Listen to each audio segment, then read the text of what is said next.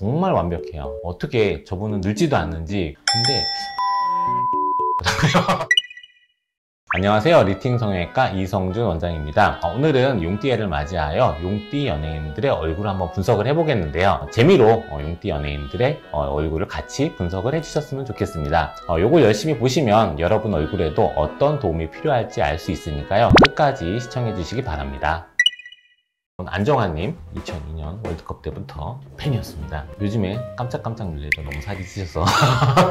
근데 이제 리프팅한 사람 입장에서는 어, 저는 개인적으로 안정환님이 이렇게 웃을 때 눈가에 살짝 주름이 있다든지 얼굴 전체적으로 볼륨이 있기 때문에 덜 늙어 보인다 이렇게 표현을 해요. 얼굴에 살이 좀 찌면은 사실은 젊어 보이는 편에 속하거든요. 아마 안정환님이 본인 나이나 친구들에 비해서 조금 더 어려 보이는 느낌은 아마 얼굴에 조금 살이 있으셔서 그런 것 같습니다.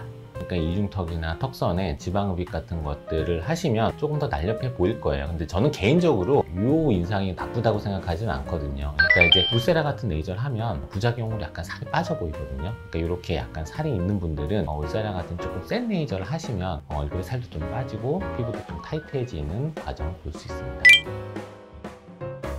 저는 거의 100%라고 봐요. 저도 이제 제 얼굴을 보고 깜짝깜짝 놀라면은 어렸을 때 제가 제 아버지 봤던 얼굴이 제 얼굴에서 살짝살짝 보이거든요. 그러니까 아마도 비슷비슷한 과정을 아마 겪게 될 거예요. 근데 이제 안정환님 현재 상태가 지금 굉장히 좋으시기 때문에 아마 자녀분들은 굉장히 오랫동안 안 늙은 사람처럼 볼 것이다 라고 조심스럽게 예상을 할 수 있을 것 같습니다.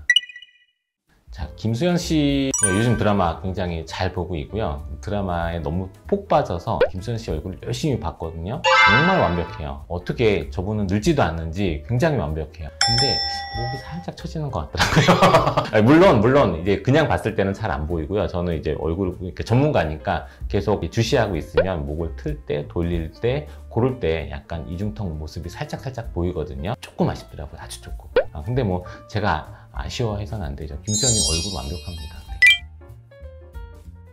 나이 들어서 뭔가 내려왔을 때 뭔가 올려서 단점이 되기는 굉장히 어려워요. 눈만 올라가는 양을 봤을 때는 크지는 않다라고 표현을 하고요. 얼굴을 전체적으로 당겨서 눈이 부수적으로 올라갈 때는 세진다는 느낌이 훨씬 덜해지는 거죠. 훨씬 자연스럽게 올라간다 이렇게 표현을 할 수 있을 것 같습니다. 네, 오늘 이렇게 용띠 연예인들의 얼굴을 분석해 봤는데요. 2024년도 어느새, 어느새 꽤 많이 몇 개월이 지났죠. 올해도 이렇게 세월 빨리 지나가니까 얼굴 처지기 전에 어제보다 오늘 더 젊어지는 여러분들이 되셨으면 감사하겠습니다. 구독, 좋아요, 알림 설정 부탁드리겠습니다. 감사합니다.